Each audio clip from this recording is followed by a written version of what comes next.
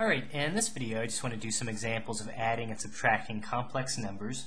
And the idea is pretty straightforward um, when you're adding and subtracting complex numbers. You basically just, you can almost treat the i like a variable. You can think about it that way. It's definitely not a variable, but when you're adding and subtracting it kind of feels like one. So what I mean is uh, the following. So suppose we want to do uh, 8 minus 3i plus 5 minus 6i. So our first problem here. So you could think about there's, there, there being a positive 1 in front of both sets of parentheses. so if you distribute that, you would simply get 8 minus 3i, and then positive 5 minus 6i. And now I just combine uh, like terms. So I've got an, a positive 8 and a positive 5. If I add those together, that'll give me a positive 13. We have a negative 3i minus 6i. If we combine that, combine that, we'll get a negative 9i. It's definitely normal to write the, uh, the imaginary part second and the real part first. So this would be considered simplified, um, and we would be done. So again, nothing too bad. In part B, we have 10 minus 7i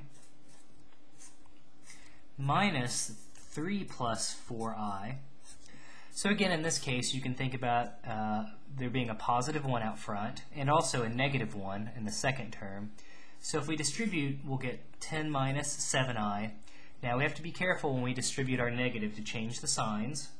So we'll get a negative 3 and then a negative 4i when we distribute. And again, now I'm just combining. I see a, a positive 10 minus 3 10 minus 3 will simply give me 7. And then we have a negative 7i minus 4i. That will give me a negative 11i.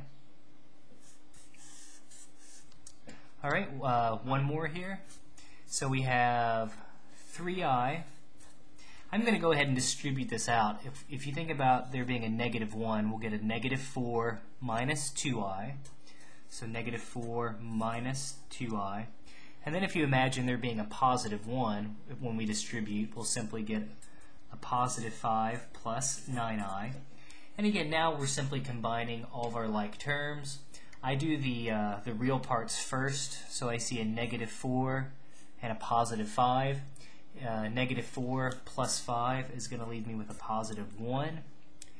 And then if we do 3i minus 2i, that'll give us 1i. And then 1i plus 9i will leave us with a positive 10i. And we have now simplified our third expression.